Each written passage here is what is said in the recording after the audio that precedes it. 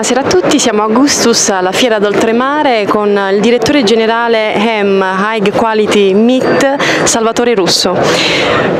Prodotto HEM di alta qualità, hamburger gourmet. Allora, M è un progetto nuovo, sostanzialmente noi abbiamo cercato di creare un mercato che non esisteva fino ad oggi. L'hamburger è notoriamente un prodotto ritenuto di recupero perché non esiste mai una certificazione sull'hamburger, notoriamente viene venduto come hamburger di bovino, ma non si sa mai con che taglio di carne viene fatto. Noi anziché produrre eh, bistecche o prodotti tipici di chi si occupa del mercato delle carni, acquistiamo dei tagli nobili e con quei tagli nobili creiamo direttamente l'hamburger, cosa che invece chi produce invece alto, cioè la bistecca o so, il filetto, um, utilizza la rimanenza della produzione per poi creare l'hamburger. Questo ovviamente crea al consumatore finale un'alternanza di qualità e non una standardizzazione del prodotto.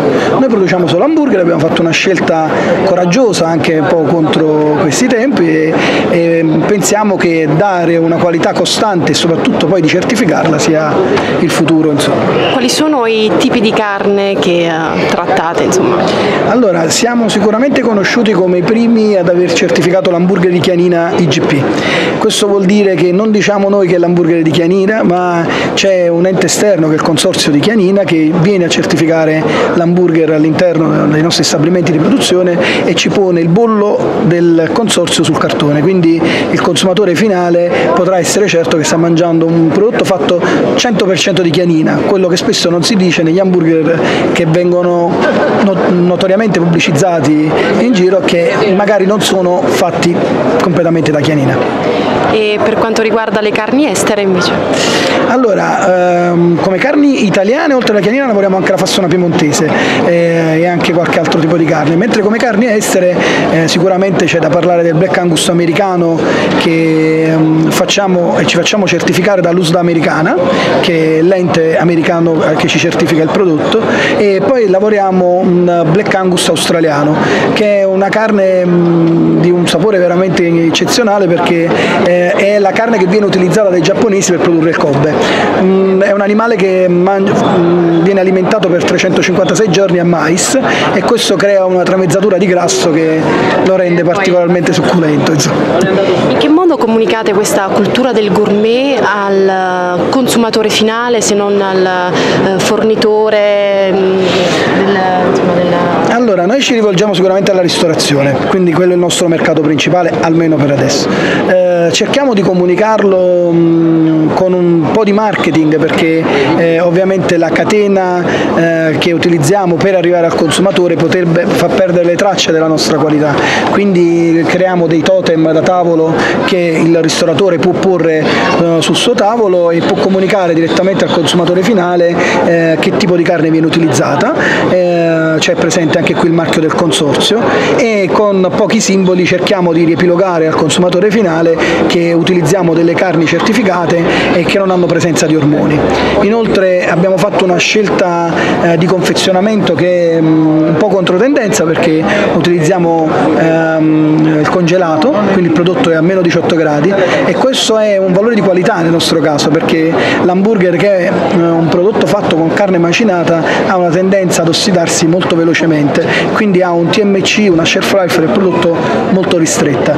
Il gelo ci consente di non mettere né coloranti né conservanti all'interno del prodotto. Ecco, quali sono i progetti del futuro? Allora, i progetti del futuro sono quelli sempre di più di comunicare al consumatore finale la nostra qualità. Abbiamo dal punto di vista di marketing inventato anche il menu degli hamburger. Per fare una battuta, io dico se un cliente si siede, tavolo, si siede al tavolo di un ristorante e può scegliere tra 12 tipi di birre diverse, ci, ci vorrà dire che ci saranno 12 tipi di hamburger diversi anche per lui e quindi abbiamo pensato di comunicarlo con un menu specializzato. È un'azienda che va sempre avanti alla ricerca di prodotti nuovi mm, anche un po' di moda se vogliamo, ma sempre, sempre legati alla certificazione di cui stavamo parlando. Quindi i nuovi prodotti che presentiamo in questa fiera sono l'hamburger di pata negra, quindi ci facciamo certificare dagli spagnoli questo maiale nero che mangia tipicamente ghiande, che dà questo sapore particolare all'hamburger e all'hamburger di bufalo che noi già produciamo 100% italiano, eh, stiamo adesso progettando e creando un hamburger di bufalo con mozzarella di bufala DOP, ah, quindi stiamo coinvolgendo anche il consorzio della mozzarella di bufala. E per quanto riguarda i costi invece?